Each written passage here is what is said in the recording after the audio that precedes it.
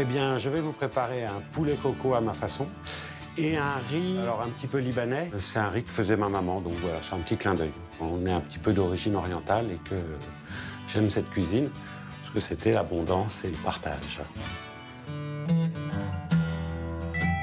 Notre cuisinier du jour, c'est Vincent. Ce Parisien amoureux de la bonne chair s'est installé il y a dix ans à Pont-Aven dans le Finistère, une ville dont la poésie et la lumière ont inspiré bon nombre de peintres, comme le célèbre Paul Gauguin. Eh bien, on est à la chapelle de Trémalo, où Gauguin a été inspiré par le Christ pour son tableau Le Christ jaune. Quand j'ai choisi de quitter Paris, la Bretagne, ça s'est imposé comme une évidence. J'adore cet endroit parce qu'en fait, c'est toujours calme, c'est toujours paisible. Il y a des lumières effectivement incroyables. Je comprends Gauguin. Je suis pas artiste, mais je comprends Gauguin. Et voilà, j'aime ce, j'aime ce lieu pour euh, son côté paisible en fait. Et si Vincent cuisine aujourd'hui chez lui, c'est parce qu'il est sur le point d'ouvrir son propre restaurant avec Sandrine, une amie. Un pari un peu fou à 60 printemps après plus d'un an de pandémie. Bonjour Je viens de recevoir les chaises de terrasse, regarde. Ah, génial Elles te regarde. Ouais J'en ai installé un petit peu en extérieur, là, regarde. En Bretagne, on dit ça biche. C'est-à-dire, on est content, on se la pète.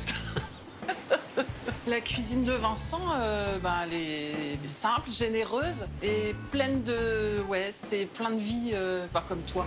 Mais à quelques semaines de l'ouverture, place aux dernières finitions. On a notre ami Nicolas qui nous rénove euh, merveilleusement la fresque pour, garder cet esprit un petit peu des peintres de Pont-Aven. C'est un peu un grain de folie. hein. Moi, je suis joueur malgré tout. Puis c'est vrai que c'est un petit rêve euh, que j'ai depuis toujours. Enfin, ce qui est drôle, c'est que tous les jours, on a un peu d'excitation, un peu de désespoir, euh, un peu d'excitation. Alors, on reçoit les chaises. Waouh, c'est super, on a reçu les chaises, elles sont magnifiques. Euh, Il y a un truc qui va pas, on se rend compte que là, il y a une fuite. Ah, c'est la catastrophe. Mais bon, il peut rien nous arriver de mal. Tout va être bien. En plus de ces deux terrasses offertes au soleil breton, l'autre avantage de leur restaurant, c'est l'épicerie du village accessible de la cour. Bonjour Émilie. Ça va? Ouais. Eh ben, en fait, aujourd'hui, j'ai envie de faire un poulet euh, fermier, bien sûr. D'accord. Donc là, en fait, on a euh, du poulet, euh, donc c'est du euh, cougnu noir. Ouais. Donc c'est une race de poulet euh, à croissance lente. Donc vraiment très très bien pour la qualité euh, de la chair, la qualité Ouais, gustative. parce que moi, ça va vraiment mijoter. donc- Voilà, donc c'est parfait. On est euh, éleveur en volaille. On reçoit les poussins d'un jour. Ils sont élevés euh, en liberté à la ferme toute l'année, sous la pluie, sous, sous la neige. Les volailles sont dehors et courent, courent dans, les, dans la prairie. Quoi. Voilà.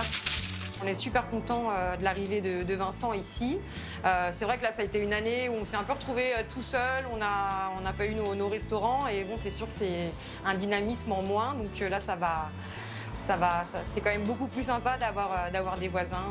Voici. Eh ben, super. Merci. Émilie. Bonne Merci, journée. Bonne journée. Salut. Retour chez Vincent pour la préparation du poulet. Donc, quand j'étais petit, je travaillais dans une épicerie chez Madame Langouette à Antony. Et chez Madame Langouette, bah, on faisait, c'était une épicerie de quartier. Alors forcément, on faisait tout. C'est là que j'ai un petit peu appris toutes les bases de la cuisine. J'ai appris à pas avoir peur de couper un poulet, de, de couper un lapin. Mais Vincent n'a pas fait carrière dans la volaille. Et il a notamment été le manager du célèbre groupe musical nommé le Quatuor, dans lequel jouait l'un de ses frères.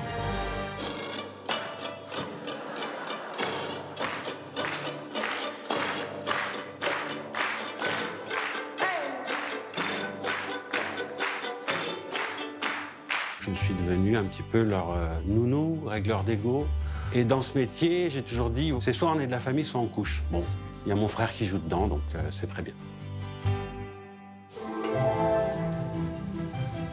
Je veux juste qu'il se colore un petit peu. En faisant ça, il y a tous les sucres. Et c'est délicieux. Donc hop, je vais le mettre là. Il va attendre gentiment.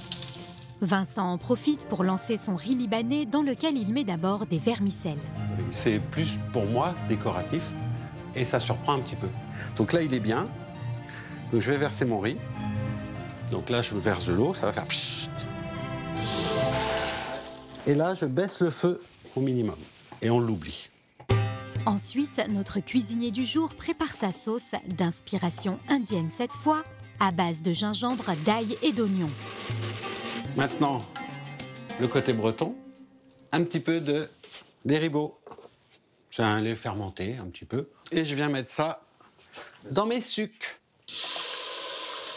Vincent rajoute une cuillère de curry adoucie avec de la crème de coco, puis il y incorpore ses carottes et ses courgettes râpées. Je mets ma poudre de coco. C'est quand même un poulet coco à ma façon. Hein. Et en fait, ça, c'est la base dans laquelle va cuire le poulet. Alors moi, je n'ai pas de timing. Pour moi, un plat qui, qui commence à être bon, c'est quand ça commence à sentir. Là, ça sent, mais quand c'est cuit, ça sent encore meilleur. Au bout de quelques heures, c'est prêt, il n'y a plus qu'à déguster. Et voilà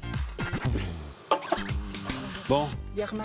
Irmat, Pour finir, notre chef a un petit message pour nos présentateurs préférés. ce que j'aimerais bien, c'est que les gens qui présentent la météo arrêtent de se mettre devant la Bretagne. Parce que quand ils se mettent devant la Bretagne, ça fait de l'ombre et c'est après il pleut.